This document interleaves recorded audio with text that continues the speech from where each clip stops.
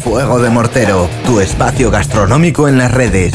Fuego de Mortero, siete años divulgando recetas originales y crónicas de restaurantes. Fuegodemortero.com, también en Facebook, Instagram y YouTube.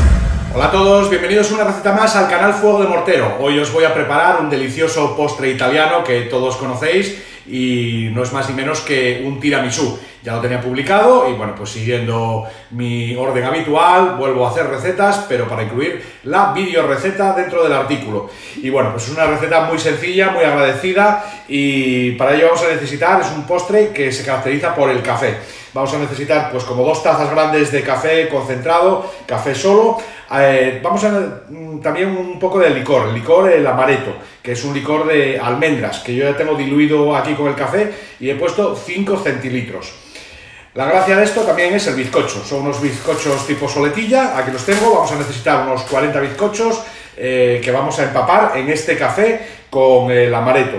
Luego vamos a hacer eh, una cremita que para ello vamos a utilizar huevos. Yo tengo aquí 6 huevos caseros, esa es la receta con unos huevos normales. He puesto uno más, 7, porque bueno, son, son un poco pequeños, entonces para equilibrar y vamos a montar las claras por un lado y las yemas las vamos a mezclar con eh, azúcar glass que vamos a poner otras 6 cucharadas grandes, soperas. Eh, todo ello luego lo mezclaremos con el mascarpone, ya sabéis, queso italiano, mascarpone, queso fresco y vamos a poner 200, eh, perdón, 250 son estas, pues el doble, 500 gramos de mascarpone. También voy a añadir un chorrete, que bueno, este es un detalle que me aconsejó mi amiga Beatriz del blog Mi Gourmeta, y es añadir un poco de vino marsala a esta crema. Si no tenéis vino marsala, pues me dice que el brandy funciona bien. Y luego al final remataremos todo pues con un poco de cacao en polvo por encima, cuando esté bien refrigerado y, y bueno, pues una receta muy sencilla. Y sin más, me voy a poner a separar claras de yemas. Separamos las yemas de las claras. Ahí tenéis. Batimos las yemas.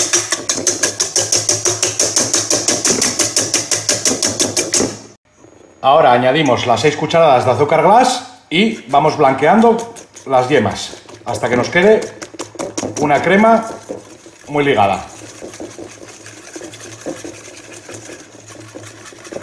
Mirar cómo quedan de cremosas las yemas, blanqueadas con el azúcar.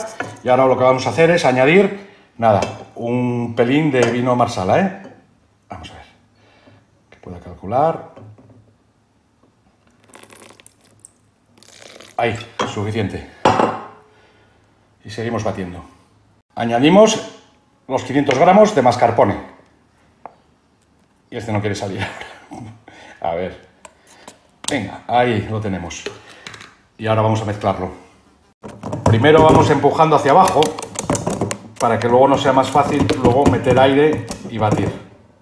No veis cómo se va quedando la varilla, pero bueno, poco a poco se integra.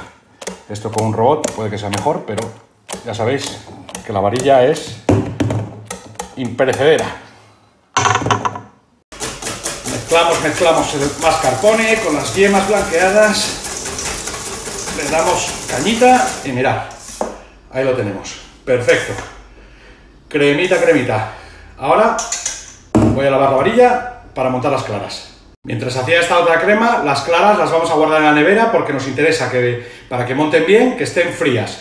Ahora simplemente tenemos que añadir una pizquita de sal, nada, esto, y un poco de ácido. Ya puede ser un cítrico, un limón, por ejemplo, o un poco de vinagre. Yo en este caso voy a ponerle un poquitito de vinagre de arroz, que ya tengo aquí en la pipeta. Nada, le pongo cuatro gotas.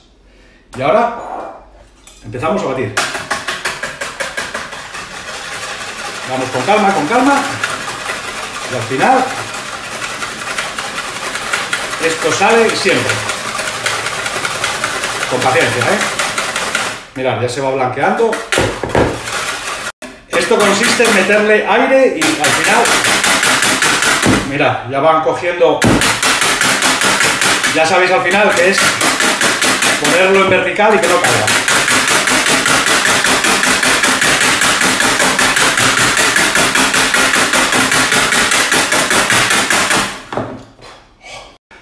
Esto es una buena sesión de gimnasio, os lo aseguro, mirad. Ahí tenemos el merenguito. Bueno, merengue. Las claras batidas a punto de nieve. Esto es maravilloso. Mirad. Uh. Una vez montadas, añadimos al otro bol. Mirad, si es que ni caen. Vamos a ayudarnos de una lengua, espátula. Y ahora lo que tenemos que hacer es ir envolviendo con mucha delicadeza para que no se nos baje la elaboración y quede totalmente bien integrado. Y una vez más, paciencia. Mirarlo aquí de cerca. ¿eh? Como veis está súper bien montado. Y ahora lo que os decía, vamos a ir poco a poco envolviendo así y haciendo como unos giros en la espátula, pero muy delicadamente. De arriba abajo, de abajo arriba, como queráis. Y se va mezclando. Así. Mirar cómo me ha quedado la mezcla, qué aireada está. Esto está perfecto. Y ahora lo que voy a hacer es guardarla un ratito en la nevera mientras pongo los bizcochitos a remojar en café. Os recuerdo que para empapar los bizcochitos estos soletilla en café, café ha de estar pues a temperatura ambiente o frío. Si está caliente se nos desmorona el bizcochito. Y simplemente lo que vamos a hacer es sumergirlos, vamos a ir poco a poco, porque si no chupa demasiado,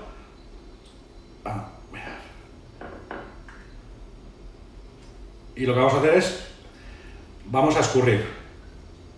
Y los vamos a ir colocando, pues, una primera capa que va a ser base.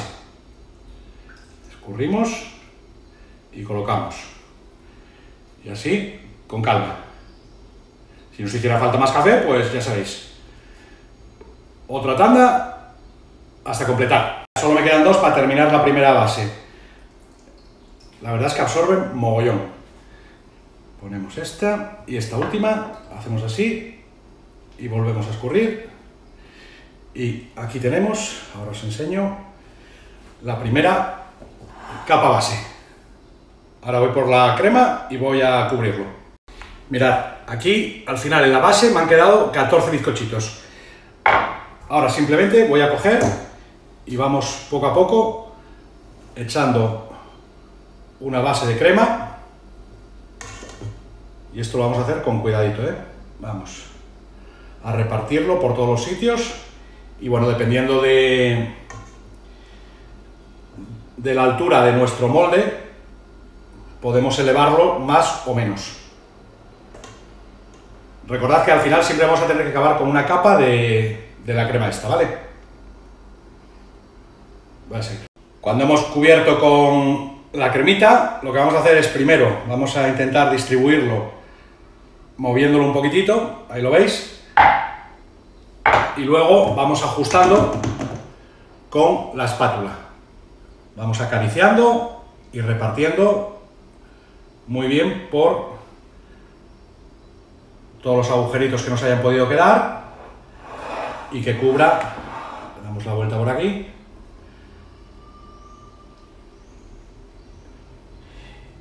y tratándolo con mimo, porque bueno, si lo batimos para que tenga su aire, venir ahora a lo bestia aquí, pues no vendría el cuento. Bueno, primera capa hecha, vamos con más bizcocho. Segunda capa de bizcocho terminada. Al final he sido un poco avaricioso y bueno, ya veis que está esto casi rebosante, he puesto tres capas de bizcocho. Rematamos, como os dije, siempre con una última capa de crema. A ver si os lo puedo mirar. Vamos a ir distribuyendo un poco así. Y ahora lo vamos a refrigerar una vez que lo extienda. Esto de un día para otro mucho mejor, ¿vale? Lo que pasa que no garantizo yo mi aguante. Y una vez que esté perfectamente refrigerado, antes de servir, vamos a espolvorear el cacao. Mirad. Vamos añadiendo aquí y, pues lo dicho, rematamos con otra capita. Ahora, a refrigerarnos. Ya han pasado 24 horas desde que refrigeramos el tiramisú y me había guardado una pequeña sorpresa y es que para la decoración final voy a prepararos un café de algona. Os recuerdo, 10 gramos de café soluble, café de toda la vida. 40 gramos de azúcar, si lo queréis menos azucarado, 30 gramos. Y 100 gramos de agua. Vertemos aquí. Y ahora Nada de varilla como el artículo que pudisteis ver. Esta vez lo meto al Thermomix. Como podéis ver aquí, no llega ni al 1. Mirad.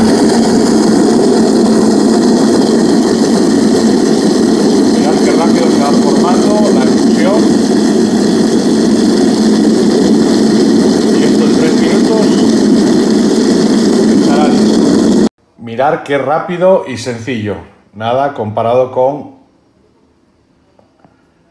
la elaboración que hice a varilla. Que bueno, fueron 8 minutos, tampoco fue para tanto. Pero veis aquí, mirad.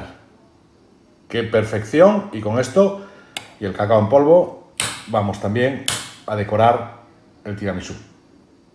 Mirad, lo he sacado de la nevera y aquí tenemos el tiramisú. Lo que he hecho ha sido el primer trozo, lo he sacado con la espátula, que bueno, al final me ha quedado bastante mejor de lo que yo pensaba para tener más espacio para poder montar lo que es el trozo que voy a servir. Y bueno, pues quiero que lo veáis de cerca. Es una auténtica delicia, fresquito y ahora solo queda decorar.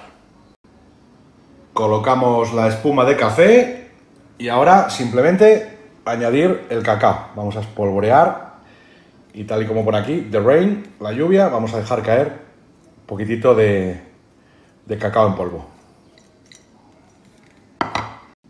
Pues aquí tenemos el tiramisú emplatado. Mirad, con el cacao en polvo por encima. Y si os ha gustado la receta, ya sabéis, le dais a la manita. Si no estáis suscritos, buscar por aquí y le dais a la campana. Espero os haya gustado la receta y nos seguimos viendo en Fuego de Mortero.